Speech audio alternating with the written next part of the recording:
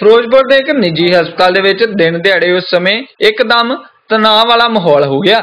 ਜਦੋਂ ਉੱਥੇ ਤਿੰਨ ਹਥਿਆਰਬੰਦ ਵਿਅਕਤੀਆਂ ਦੇ ਵੱਲੋਂ ਹਸਪਤਾਲ ਦੇ ਵਿੱਚ ਵੜ ਕੇ ਇੱਕ ਵਿਅਕਤੀ ਦੇ ਉੱਤੇ ਅੰਨ੍ਹੇਵਾਹ ਫਾਇਰਿੰਗ ਕਰਨੀ ਸ਼ੁਰੂ ਕਰ ਦਿੱਤੀ ਗਈ।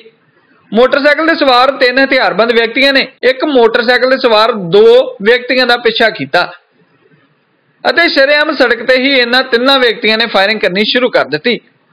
ਦਰਅਸਲ ਇਸ ਮਾਮਲੇ ਦੇ ਵਿੱਚ ਜ਼ਖਮੀ ਹੋਏ ਨੌਜਵਾਨ ਗੁਰਕੀਰਤ ਸਿੰਘ ਅਤੇ ਉਸ ਦਾ ਸਾਥੀ ਆਪਣੀ ਜਾਨ ਬਚਾਉਂਦੇ ਹੋਏ ਉੱਥੋਂ ਭੱਜ ਨਿਕਲੇ ਅਤੇ ਸਿਵਲ ਹਸਪਤਾਲ ਦੇ ਪਿੱਛੇ ਬਣੇ ਇੱਕ ਕੇਡੀ ਨਾਮ ਦੇ ਪ੍ਰਾਈਵੇਟ ਹਸਪਤਾਲ ਦੇ ਵਿੱਚ ਦਾਖਲ ਹੋ ਕੇ ਆਪਣੇ ਰਿਸ਼ਤੇਦਾਰ ਦੇ ਕੋਲ ਆ ਗਏ, ਜਿੱਥੇ ਉਹ ਹਮਲਾਵਰ ਵੀ ਪਹੁੰਚ ਗਏ।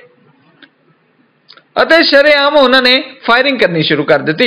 ਇਸ ਘਟਨਾ ਦੇ ਵਿੱਚ ਗੋਲੀ ਲੱਗਣ ਦੇ ਨਾਲ ਇੱਕ ਵਿਅਕਤੀ ਜ਼ਖਮੀ ਹੋ ਗਿਆ।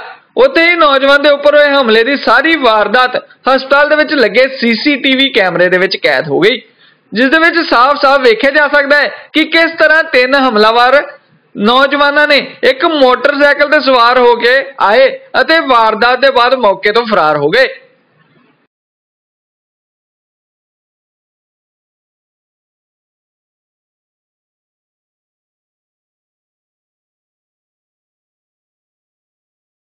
ਅਸੀਂ ਨਾ, ਸਾਡੇ ਬੇਟੀ ਹੋਈ, ਅਸੀਂ ਬੇਟੀ ਵੇਖਣ ਆਏ ਆ।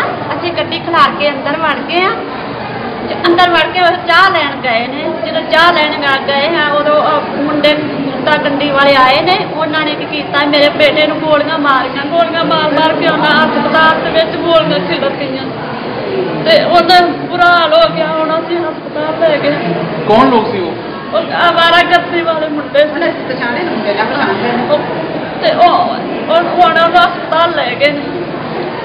ਹੈ ਨਾ ਉਹਦਾ ਗੁਰਕਿਰਤ ਨੇ ਤੁਹਾਡਾ ਕੀ ਨੇ ਮੇਰਾ ਬੇਟਾ ਹੈ। ਕੀ ਵਜ੍ਹਾ ਜਾ ਕੀ ਲੱਗਦੀ ਤੁਹਾਨੂੰ? ਇਸ ਫਾਇਰਿੰਗ ਦੇ ਦੌਰਾਨ ਇੱਕ ਲੜਕਾ ਗੁਰਕੀਰਤ ਸਿੰਘ ਸਨ ਨਰਵੈਲ ਸਿੰਘ ਵਾਸੀ ਕਿਲੀ ਡਿਸਟ੍ਰਿਕਟ ਫਿਰੋਜ਼ਪੁਰ ਇੰਜਰਡ ਹੋਇਆ। ਇਹਦੇ ਉੱਤੇ ਤਿੰਨ ਜਾਣਿਆਂ ਵੱਲੋਂ ਇਹ ਜਿਹੜਾ ਹਮਲਾ ਕੀਤਾ ਗਿਆ ਹੈ। ਸਰ ਇਹ ਇਹ ਕੀ ਇਹਨਾਂ ਦਾ ਕਾਰਨ ਕੀ ਨਿਕਲਿਆ ਜੀ ਸਾਹਮਣੇ?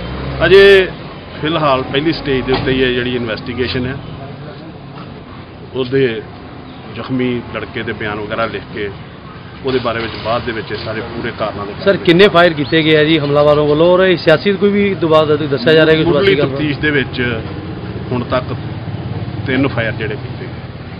ਸਰ ਕਿਹੜੀ ਜਗ੍ਹਾ ਇਹ ਕਿਹੜੀ ਜਗ੍ਹਾ ਕੀਤੇ ਗਏ ਜੀ ਇਹ ਹਸਪੀਟਲ ਕਿਹੜੀ ਹਸਪੀਟਲ ਦੇ ਲਾਗੇ ਫਿਰੋਜ਼ਪੁਰ ਸ਼ਹਿਰ ਦੇ ਵਿੱਚ। ਸਰ ਸੀਸੀਟੀਵੀ ਦੇ ਵਿੱਚ ਵੀ ਕੋਈ ਇੱਕ ਘਟਨਾ ਸੀਸੀਟੀਵੀ ਵਿੱਚ ਚੈੱਕ ਕਰਾਂਗੇ ਜਿਹੜੇ ਜਿਹੜੇ ਵੀ ਜਿੱਥੇ। ਕੀਰਤੀ ਸ਼ਰਮਾ ਦਿਵਿਆ ਪੰਜਾਬ ਟੀਵੀ ਫਿਰੋਜ਼ਪੁਰ